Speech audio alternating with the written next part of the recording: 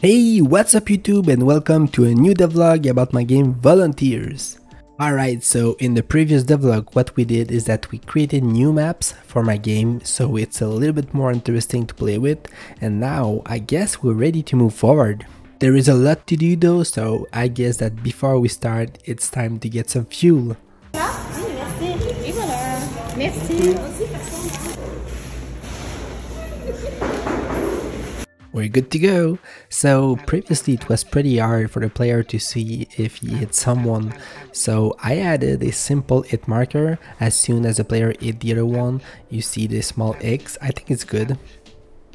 Ouch. Very nice. So next I wanted to add a bullet impact that is customizable for each weapon. Alright, let's see how it looks in game. Um, yeah, something's wrong. Is it the right size?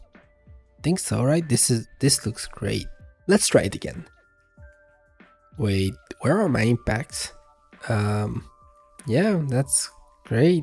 Alright, this time it will work, I believe. Nice, I like it. That's perfect. Let's be honest, if you're able to draw a smile in your game, it means that you did a great job. Okay, so remember that this is a multiplayer game, so we need to make sure that everything is being synced. Like this, I think it works great. There is a problem though, having a aim like this is gonna be awful for the other players. I mean, it's a straight line, so I wanted to introduce some random like this, but this is too random. I mean, you cannot like level up your gameplay because every bullets just go in every direction. So I decided to introduce a spray pattern, just like this.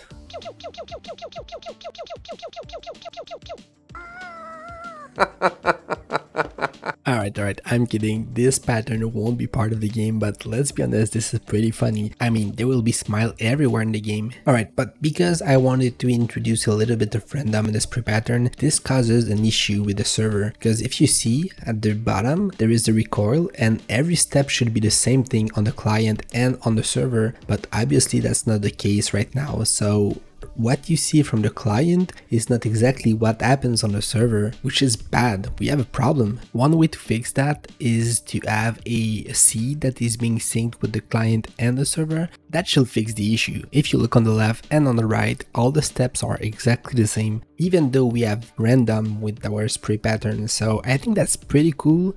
I'll take it. Let's have a look at how it looks now in the game with all the sync and everything. So you see on the left and on the right everything is the same because we synchronize the spray pattern and stuff. That's perfect, exactly what I'm looking for. Nice! Okay, before we move to the next step, let's fix the spray pattern because obviously the smile was just a joke. Okay, so what I want to do next is that I want to share my game again with my friends so they can give me some feedbacks on the spray pattern and the random and stuff. The thing is, I'm getting tired to deliver my game from URL that my friends need to download and then modify some stuff. It almost feels like they are hacker, you know? Hackerman. So I think I'm gonna change the system a little bit. I'm gonna add a login screen and everything. This way it's gonna be easier to place people in the right team. Obviously I started with the basic user and password box, but something felt wrong. I mean, it's really important to do a login screen the right way because this is probably the most vulnerable place of your game and doing it myself might open doors for hackers and stuff and I kinda don't want to deal with it so I decided to log in my system using Discord but this felt wrong again. I mean we don't see any game doing that so I got another plan. Like most games, I decided to go with Steam. Here's how it's gonna work. The player will launch my game from Steam like any other game, then the game will request a authorization token from Steam. With this token, I'm gonna be able to contact my server. This server is only like a private server that is gonna contact back Steam again with the information that we gathered from the client and we're gonna validate that the client is exactly the one that he pretends to be. Let's be honest, this feels so much better than just having a user pass box, right? So as soon as the player has been validated, he's gonna join the queue with the other players that has already joined this exact queue. We're gonna call this server the lobby and the queue will be basically the players, right? Awesome, so we're ready for the next step and this is for the lobby server to contact PlayFab to start an instance of my server. Don't worry, we're gonna talk about PlayFab later on in the video. I'm gonna explain what it is and why I use it. That's nice, so with the information that we gathered from the lobby server, we can now join the server launched by PlayFab, and now guess what? We just play the game. Actually super easy, barely an inconvenience. Alright, that sounds fun on paper, but to be honest, this was still a journey that was pretty hard to set up everything together, but at the end I was really satisfied with it. Let's jump into it. Alright, so the first step is to set up a Steam account, and yes, the process cost money, but I felt like anyway I would have to do it at some point, so let's do it now. This is also at this moment that I discovered that there is a upcoming game called Volunteers on Steam with Unreal Engine, not made by me. Oh, dang it! I guess we'll have to tweak the name a little bit, but anyways. I've added the Steam API in my game and look at this, we already see on Steam that I play my game Volunteers. It's really satisfying to see and I can even open the Steam overlay directly in my game. I'm really happy with it, it was easy to do. Okay, next, I did set up a small login screen. As you can see here, there is the title and the welcome Spimort, so it means that I logged into Steam and then on my private server. Very nice, we can see that this step is being done and this one as well. Very cool. Next step, I think we're gonna need to work a little bit on the lobby screen. This way we're gonna be able to join the queue with the other players. I just added a small label on top of the player and just like this, voila, we have a basic working lobby system. Nice.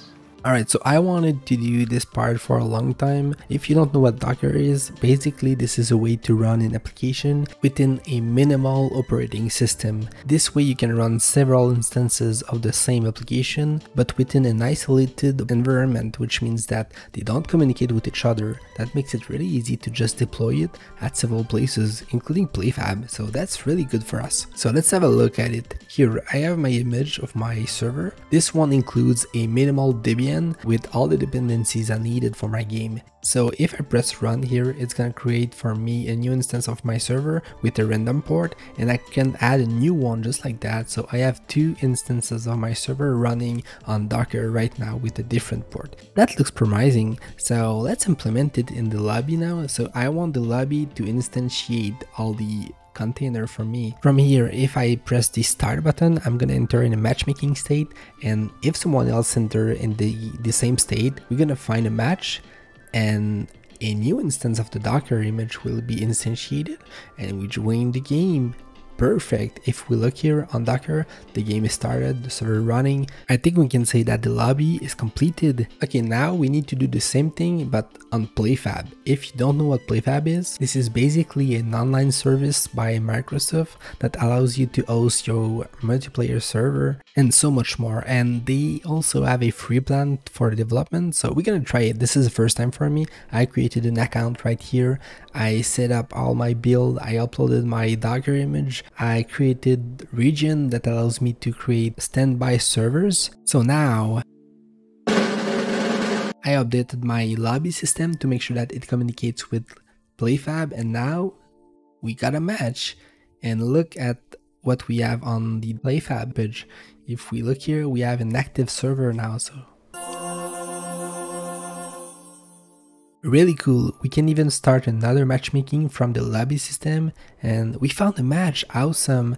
So it created another server from the PlayFab system and if we look on PlayFab, we got two active servers, that's perfect. I think we can say that the play the game is done now and now it's time for... Hello? Hey, what's up, Woom? Hey, how what's up? How are you doing? I'm doing great. What about you, man? I'm doing great. I remember we played uh, my game Volunteers not so long ago. Yeah, yeah, for sure. I remember. Alright, but guess what? It's on Steam now. No way, on Steam? So it's official, right?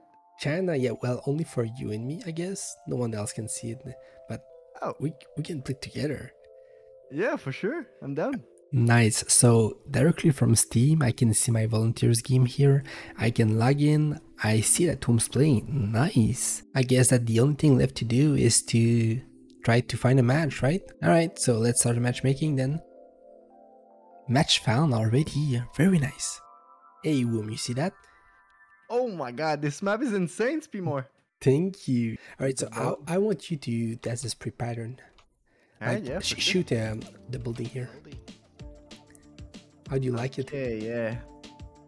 It's it's, it's nice. I like it. It's kind of like Valorant and CUD together. Nice, nice. Alright folks, that's all I had to show for this vlog. I'm really happy to see that the system that I tried to build is working the way I want. This was important for me to test it early in the project because I could have wasted my time working on something that didn't work after all. So now we know, right? Alright, we're gonna see each other on the next one.